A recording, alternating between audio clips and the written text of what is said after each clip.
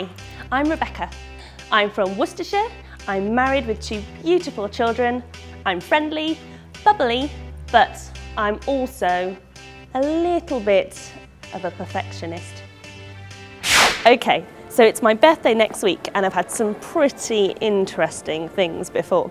So I'm here to find out what interesting gifts you've received. Come on, let's go. Have you got any that you could perhaps share with us today? Not in front of my husband. I'll walk it The secret. um, God. Share it with us. um, an ex yes. um, found, I found in the airing cupboard because he was that embarrassed to give it to me, a leather like gimp suit. Did you wear it? No, I didn't. You didn't get it, but somebody else when we were working up in Edinburgh got the chocolate body paint from somebody really inappropriate at work. Oh yeah, as a secret Santa at Yeah, Oh, a Secret secret. Yeah, yeah, yeah, yeah. and I was in front of my mum and someone else, and it was like these uh, love heart nipple tassels. Oh my and I didn't goodness! just as She a joke, posted them to you. as a joke, present. Wasn't a real present. But it was in front of everyone, and I was like, "Oh, I've got something in the mail!" You know, you get really oh, excited. no. And there was just this bit of silence everywhere.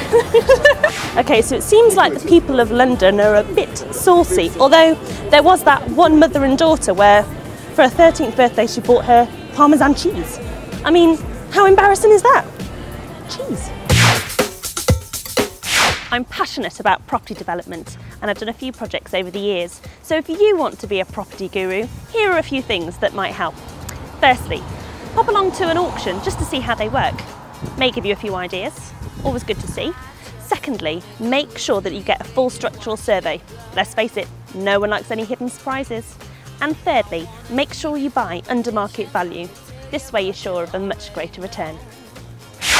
Here's a few random facts about me that you may or may not want to know. I have a phobia of birds and anything flappy. I hate pickled onions, well, anything pickled really. I'm a huge kid at heart, bit of a dreamer, and always like to think that there's a happy ever after. Bless. well, thanks for coming into my world. I'm off home to see the kiddies and give them a big squeeze, and then maybe sit down with a cheeky glass of wine. See you soon.